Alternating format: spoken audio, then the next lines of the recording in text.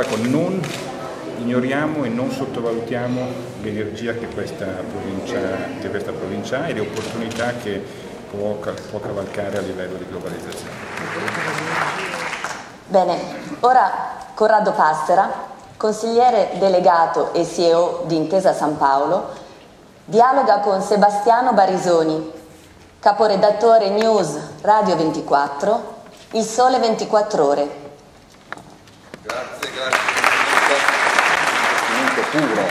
eh, va in questa direzione, una cosa che sempre più potrebbe venire utile a, a, anche alle aziende eh, comasche. Noi abbiamo deciso di creare un centro per l'internazionalizzazione basato a Padova ma poi c'è in tutta Italia con le sue diramazioni proprio per creare facilità di, di contatti, ponti tra mercato italiano e mercato dei vari paesi difficili. Ecco, naturalmente però la spinta, la cosa, l'energia, la dimensione può venire soltanto dalle imprese seguendo le regole di, di Verga, su cui dopo però dobbiamo tornare. Assolutamente. Ehm, sul, per eh, eh, sul, sul mercato. Numeri belli qui a Como in questo momento si vedono, cioè l'idea che eh, negli ultimi 12 mesi il credito a breve cresca al 14-15%, quindi ben oltre il tasso di crescita del, dell'economia nel suo insieme e che anche quello a lungo termine che in molti par- parti, d'Italia, parti, d'Italia, non sta crescendo, anche qui sia quasi a, a, due cifre e quindi vuol dire investimenti dietro questi finanziamenti, sono, sono segnali belli, poi bisogna fare di più e certe volte si fanno errori,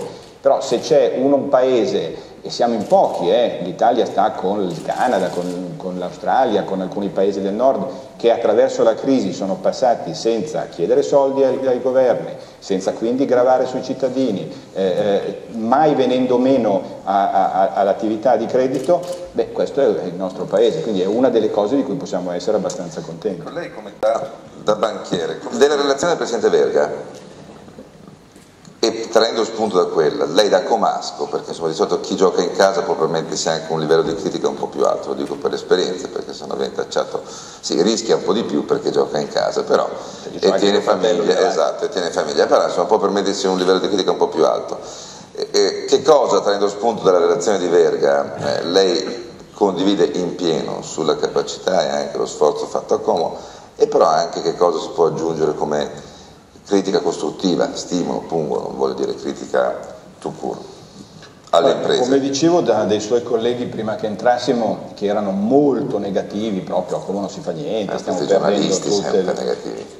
da giornalisti No, no, no, non è vero, cioè, c'è del buono e del cattivo come in banca e come nelle imprese, però insomma, eh, quella domanda era molto, molto negativa. Ecco. No, anche quello che, che, un po' è venuto fuori dal discorso di Verga è che non è che a Como non succeda niente, succede niente, i numeri delle imprese e del credito che vi potevo dare come vi ho dato prima, il fatto che alcune grandi cose,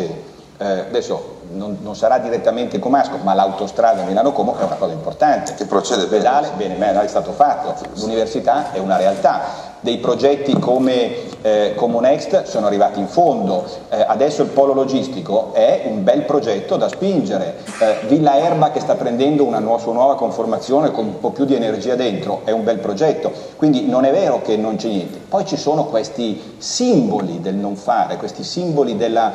della, della, della, della, tristezza, insomma, faticosa, il lungolago, eh, la tremezzina che non si riesce a passare attraverso certi paesi, che dicono ma possibile che cose veramente alla nostra portata non vengono realizzate. Detto questo, come dice Verga, è un tema di lavorare insieme, perché poi per fare crescita ci vogliono le imprese, il sistema intorno alle imprese, il sistema paese, la formazione. In, facciamo che Como sia per esempio il primo posto dove si fanno gli istituti tecnici superiori che sono lo strumento fo- più formidabile del sistema formativo tedesco eh, che, che, che, noi non abbiamo, perché uno finisce eh, l'istituto tecnico e poi deve ricominciare da capo su altri binari in università, che è la maniera per buttare via quello che ha fatto e per frustrare in taluni casi anche quel, il, il, modello in cui uno si è, si è formato. Quindi formazione, sistema della giustizia. Sistema della giustizia, non ci vogliono i fantasmiliardi, bisogna avere il coraggio di affrontare quelle dieci cose che bloccano di fatto il sistema della giustizia sia civile che penale perché non dimentichiamoci che siamo un paese che non riesce a portare in fondo i processi, il 70-80% finiscono in prescrizione. Io veramente potrei andare avanti per ore, ma farei un abuso al dottor Passera, un abuso alla sala, quindi la smetto di abusare e ringrazio Corrado Passera, grazie anche se fate un applauso cortesemente.